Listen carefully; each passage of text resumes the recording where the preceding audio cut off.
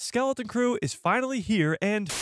Wow, I could not imagine a better start to this show. From Old Republic connections to badass pirates to this mysterious home planet that has become a myth to the outside galaxy, to, of course, Jude Law playing a Jedi in Star Wars. Or at least we're led to believe that he's a Jedi. With that, this Skeleton Crew 2 episode premiere did not disappoint. It actually exceeded all my expectations of this show. But we got two episodes to break down and a lot of crazy Easter eggs in each one. So let's break this down, shall we? Episode 1 1, titled This Could Be a Real Adventure, opens with an opening message, very similar to how the Ahsoka series did. This is just to set up the time period in the Star Wars galaxy and explain to people what's going on with this show. So the opening line says, Since the fall of the Empire, the New Republic has maintained order. As this show takes place after the original trilogy, after the fall of Emperor Palpatine and Lord Vader, in the same time period as The Mandalorian, The Book of Boba Fett, and Ahsoka. It goes on to say, and yet remote hyperspace routes are increasingly plagued by piracy, emphasizing the importance of pirates in this show. It then says these pirates boldly brand their armored hulls as a sign to all ships surrender or die. Now, the opening scene of this first episode starts in space, outside this planet that kinda looks like Tatooine from afar. We see a New Republic ship as it's being attacked and boarded by pirates. As the pirates take out all but one of these New Republic people, we get introduced to a character named Brutus. This werewolf looking guy eventually becomes the captain of the pirates, but his species was first seen in the cantina in A New Hope, all the way back in 1977. And now he returns in Skeleton Crew to play this this badass pirate. He welcomes this masked character aboard the ship, calling him Captain Silvo. Now, currently in Star Wars canon, a Captain Silvo does not exist. Well, I guess he's standing right in front of us, but we don't know who's under that mask. Many fans already believe that it is Jude Law's character, Jod Na Nawood. And the name Jod Na Nawood is just an alias, one of many that will be revealed throughout this series. But tell me in the comments below if you think Jod Na is under this mask. Having watched it a second time, it does sound a little like him, but because of the mask, the voice is altered. Captain Silvo explains that times have been rough lately. His crew hasn't really trusted him because they haven't been getting a lot of credits, but he believes that this New Republic ship will have all the credits they need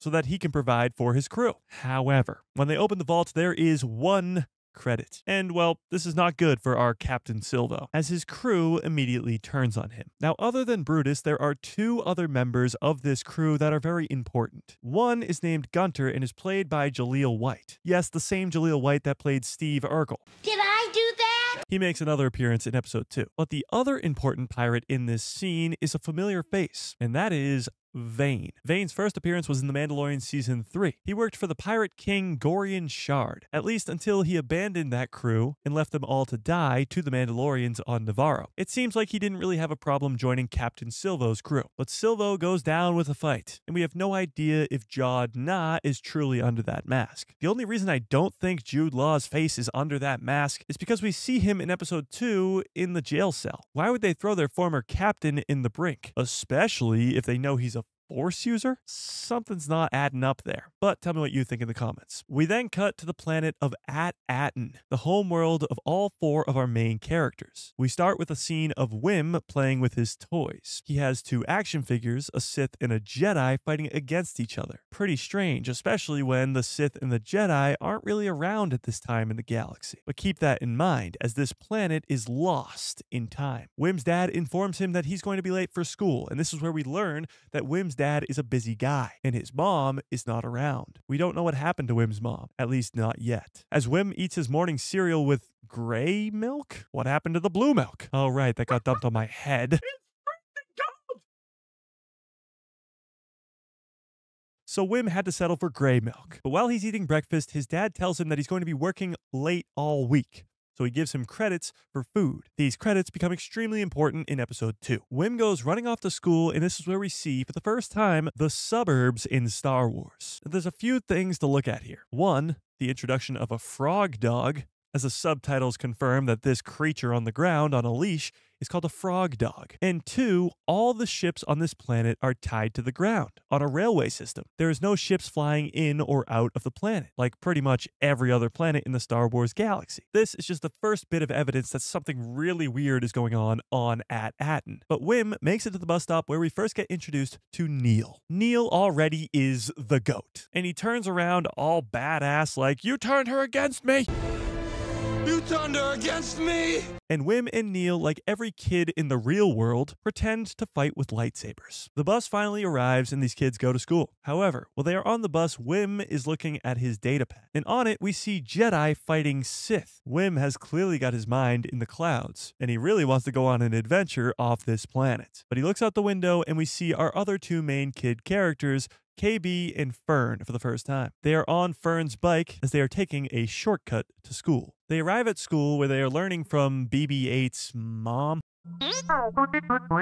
And, well, Wim is not listening. He's actually drawing on a Star Wars version of an Etch a Sketch an old toy that was released in 1987, at least on Earth, that is. This great drawing of this Jedi gets interrupted by Fern's mom, and she is introduced as the Undersecretary Fara, and she tells them that all these kids have a test tomorrow, a career assessment test. And she says once you complete this test, you will become a part of our planet at Attin's contribution to the great work. The what to the who now? Now, we have no idea in the Star Wars universe what this great work she is referring to is. However, the great work in the real world is something that would be described to be a masterpiece or a magnum opus, a creation that has been given much praise. Also, possibly a lost treasure. Clearly, her talking about At Attin's contribution to this great work means that there are other planets involved. Keep that in mind as we go into episode 2 later on in the video. She goes on to say that they need to keep the Republic peaceful and strong. The Republic? Has this lady been living under a rock? Currently in the Star Wars timeline, they are in the new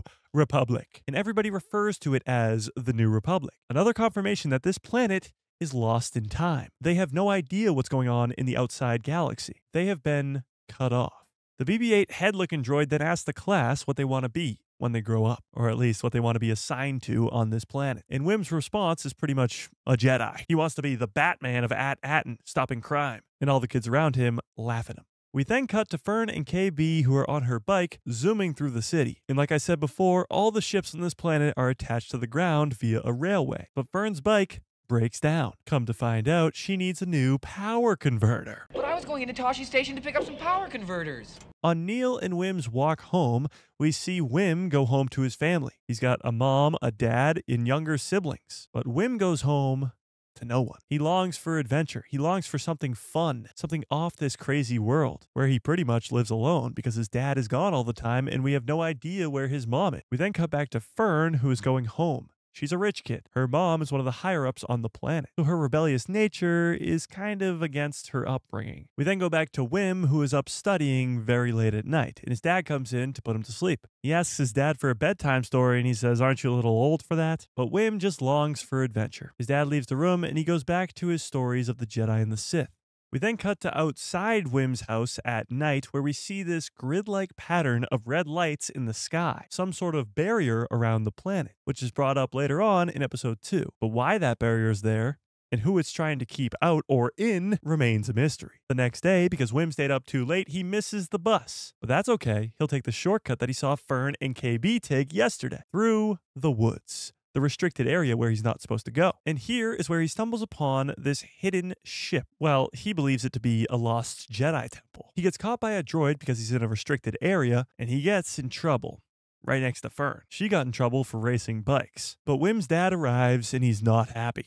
Wim tries to explain to him that he found something in the woods and he's not buying it. A lost Jedi temple? On At Attin, he's just a kid who's lost his goddamn mind. However, while he's telling his dad this, Fern is listening to the conversation intently. Something lost in the woods? She wants in. We then cut to Neel's living room, where his little siblings are watching this on the holo table. This is actually the exact scene from the holiday special. Yeah, that's right. The holiday special that Lucasfilm has tried to hide and bury for all these years. It now makes its way back to Star Wars canon in a way via this holo table in Neel's house. But Wim climbs up to the roof to find Neel in a bathtub. I've been feeling trapped.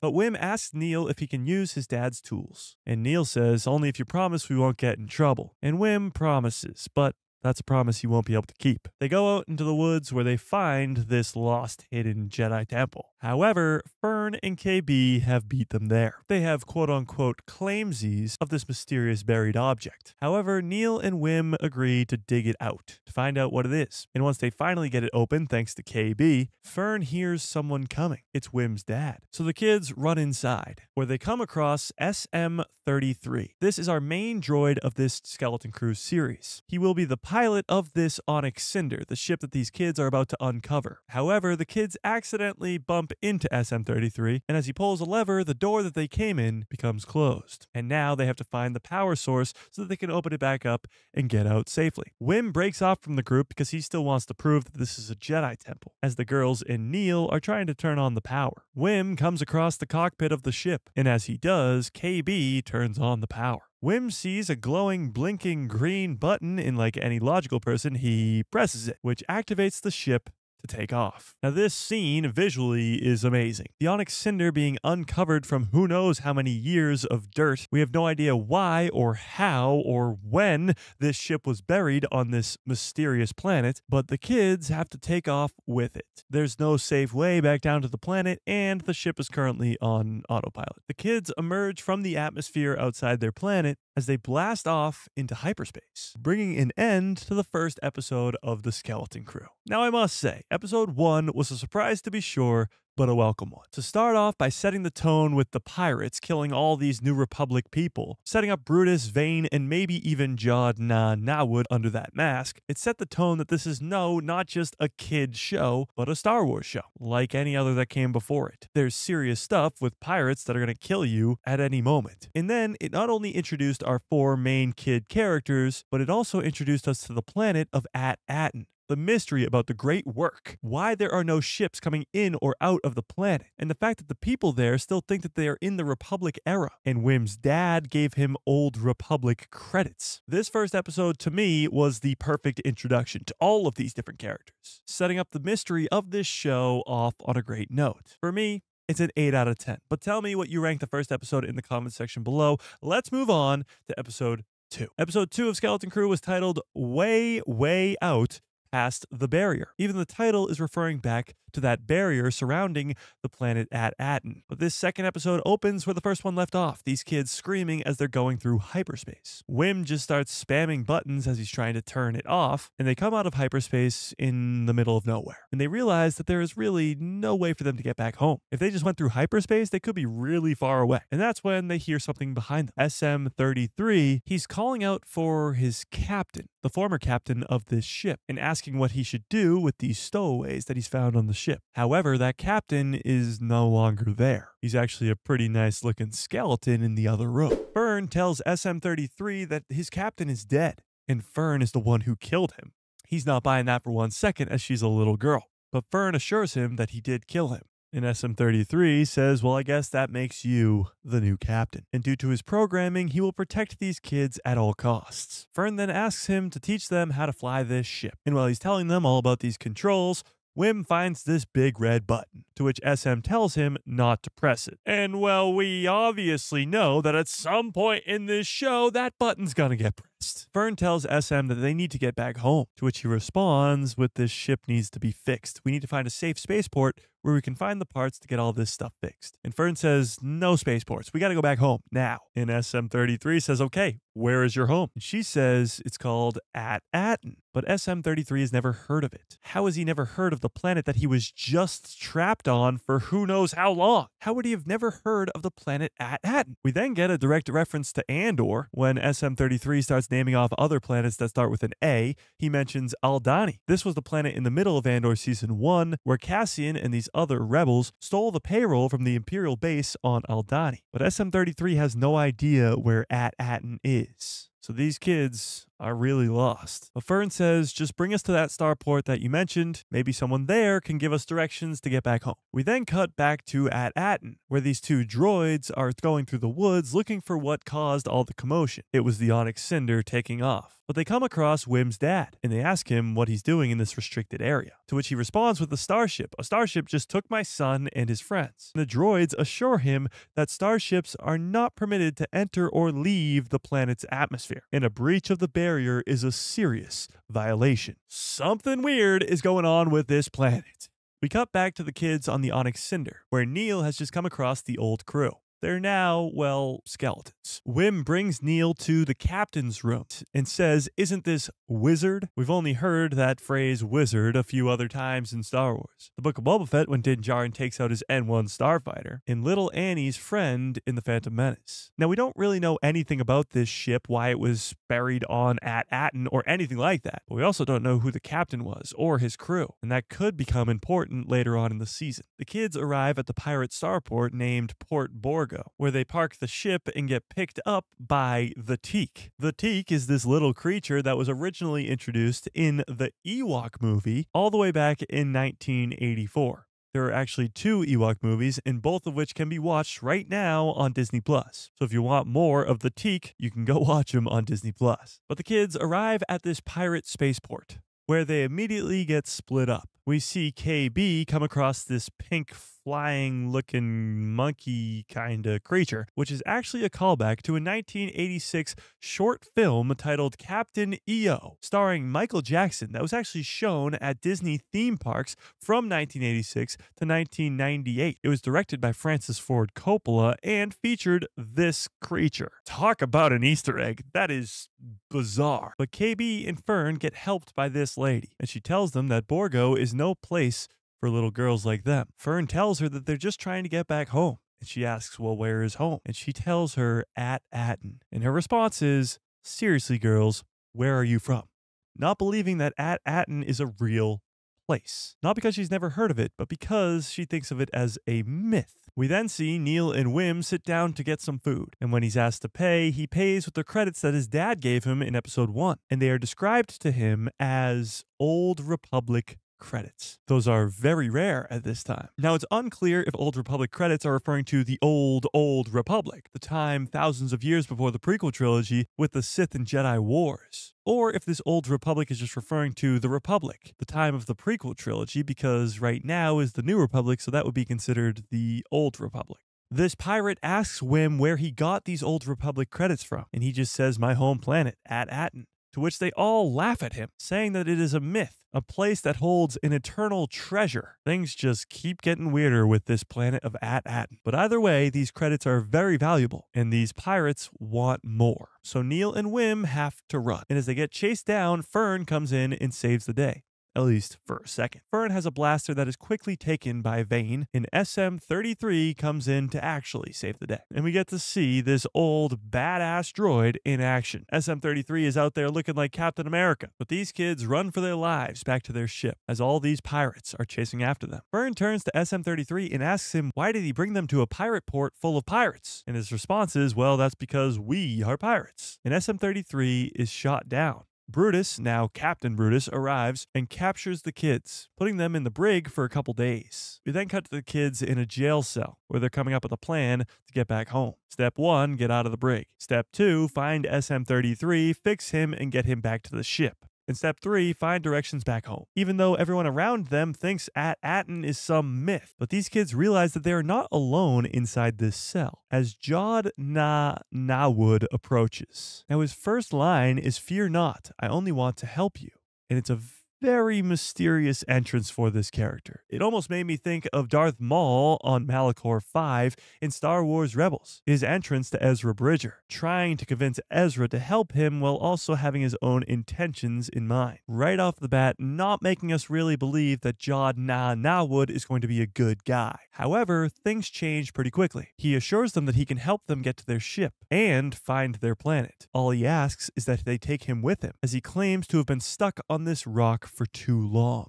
Fern says, Well, how are you going to get us out of here? And he says, The key. The distance between us and that key is an illusion. As he reaches out his hand and uses the Force to grab the key. During this, we hear the Force theme play. And ooh, that gave me the chills. The score for this show has been incredible. But Wim turns and looks at Jod and says, You're a Jedi? And Jod removes his hood and asks, Can you keep a secret? And that ends episode two of the Skeleton Crew. Wow, wow, wow, wow, wow. Episode two, in my personal opinion, was a lot better than episode one. Not that episode one was bad, but episode two was just that good. From SM33 being Captain America badass to the Old Republic connections and this mystery of At Attin growing even bigger, with now an eternal treasure being a myth to all of these different pirates who probably have spent their whole lives looking for it. And of course, the cherry on top, the introduction of Jod Na Nawood, a force sensitive, possibly Jedi, possibly Sith character who we don't know can be trusted. A very Maul like entrance from Star Wars Rebels. And yet he guarantees these kids safety back to their home world. I give this episode a 9 out of 10. I actually think this show can get even better from here, and that excites me. So far, these first two episodes are a perfect setup, a perfect setup for these four main kid characters, this mysterious planet that has an eternal treasure on it, Jod Na Nawood and the pirates. It is a great start. But tell me what you think in the comment section below. Rank these two episodes out of 10 or rank them combined if you want. And is Jude Law actually playing a Sith in this Skeleton Crew show? I explain what's going on with this Jod Na Nawood character in this video right here.